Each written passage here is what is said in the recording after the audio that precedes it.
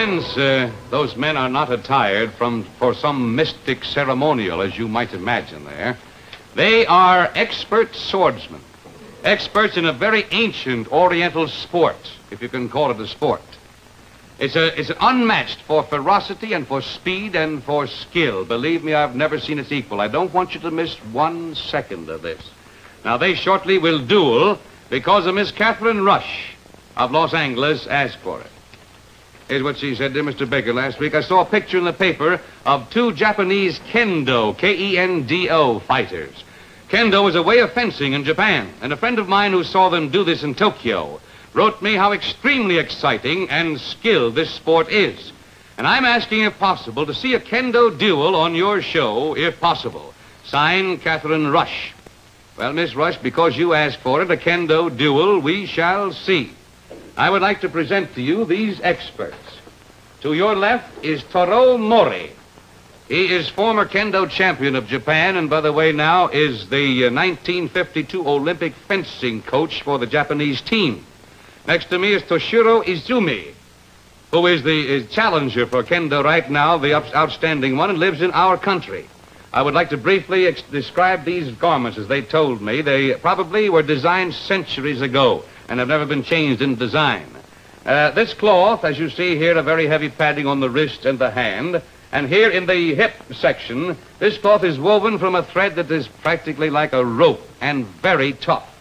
Uh, the breastplate is a heavy leather which is polished, and inside is lined with a steel hardened bamboo, split bamboo.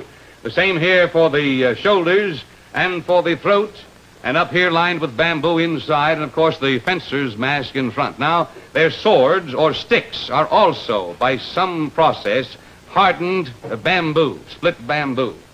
Now, uh, these gentlemen will now uh, give us a demonstration of kendo in which they will demonstrate all of the defense and of the offense in this without stopping when a point is scored. It's rather complicated, but if you have a very quick eye and watch this tremendously quick action, you can see a point scored and count them yourself. Uh, a point is scored when it's hit upon the head or either side of the head, either side of the waist, uh, upon the wrist, or a thrust here at the throat. Gentlemen, are you prepared? And guard.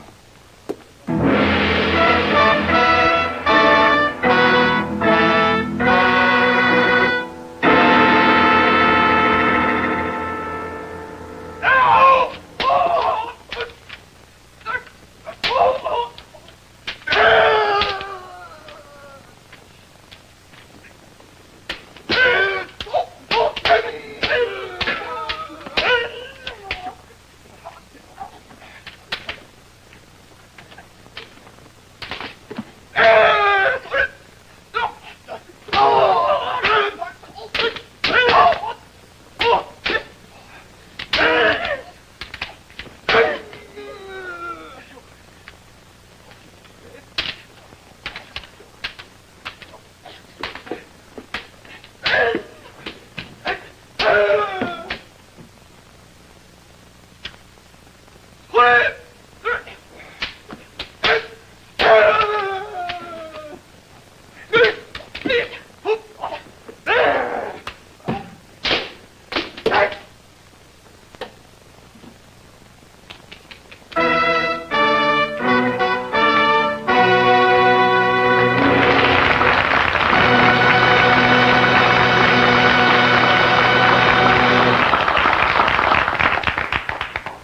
Were you able to count the hits?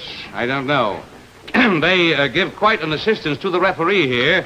Uh, those uh, cries of anguish uh, were saying in Japanese, I am hit, which the referee can hear and counts up the score in that way. It's a terrific competition. Believe me, if you can call it a sport, it's more like mayhem, gentlemen. We appreciate your answering this request. You put up a very good battle, sir. And we would say that the Japanese uh, fencing team for the Olympics is in very good hands. Thank you. We thank you both for showing us kendo through kendo through television in the United States here.